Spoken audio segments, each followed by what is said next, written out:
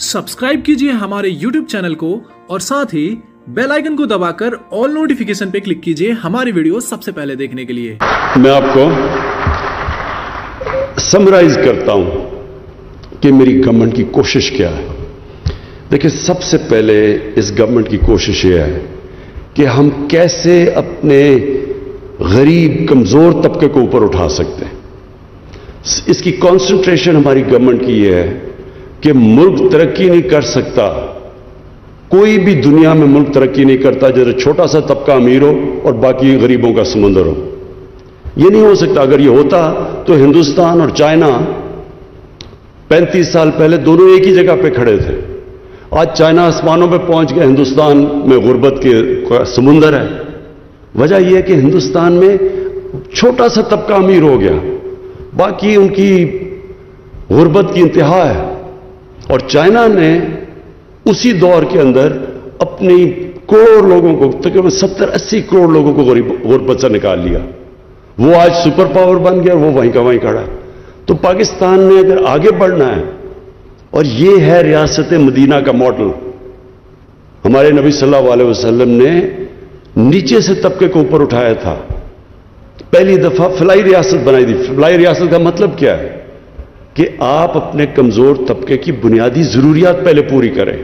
ये गवर्नमेंट की ज़िम्मेदारी है।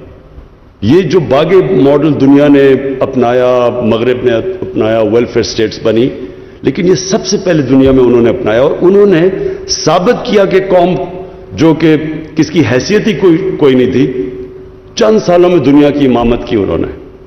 तो हमारे भी पाकिस्तान में चैलेंज ये है कि हमने कभी उस कमज़ोर तबके की तरफ़ नहीं देखा। कोई कोई पॉलिसी नहीं बनाई निचले तबके के लिए। इंग्लिश मीडियम थोड़े से तबके के लिए, बाकियों के लिए, और तालीम का निज़ाम। सिर्फ़ ऊपर के तबके को नौकरियाँ बाकी नीचे ऊपर ही नहीं आ सकते थे। अस्पताल देखें गवर्नमेंट हॉस्पिटल अच्छे चलते थे जब हम बड़े हो रहे थे। आज सिर्फ़ प्राइवेट हॉस्पिटल्स हैं लोगों के लिए जो पैसे वाले हैं, बाकियों के लिए गवर्नमेंट हॉस्पिटल में इलाज नीचे चला गया। तो सारा चैलेंज ये है कि अब ये गवर्नमेंट की पॉलिसीज़ हो उस तबके को उठाने के लिए ऊपर। जिसको जिसको हमने सत्तर साल से पीछे छोड़ दिया। तो ये जो कंस्ट्रक्शन है, ये मेरे लिए क्यों, जब कोरोना के दौरान मैंने खुद आईएमएफ के हेड को टेलीफोन करके कहा कि हमें कंस्ट्रक्शन इंडस्ट्री में, हम आईएमएफ के प्रोग्राम में थे। हम वो टैक्स रिलीफ नहीं दे सकते थे। बदकिस्मती ये है, जब आप कर्जे लेते हैं तो जो कर्जे देता है, वो फिर अपनी शराइत देता है। तो उनके ऊपर हम कर्ज, हम वो इंसेंटिव नहीं दे सकते थे। तो कोरोना के दौरान मैंने उसको टेलीफोन करके फिर वो कंसेशन ली कंस्ट्रक्शन सेक्टर के लिए। और उसका मकसद ये था कि हमारी सबसे पहले आम आदमी को, गरीब लोग को, दिहाड़ीदार को नौकरियाँ मिले। क्योंकि जब आप लॉकडाउन करते हैं तो सबसे पहले गरीब तबका क्रश हो जाता, तबाह हो जाता है। सारी दुनिया में गुर्बत बढ़ गई है कोरोना की वजह से लॉकडाउन की वजह से।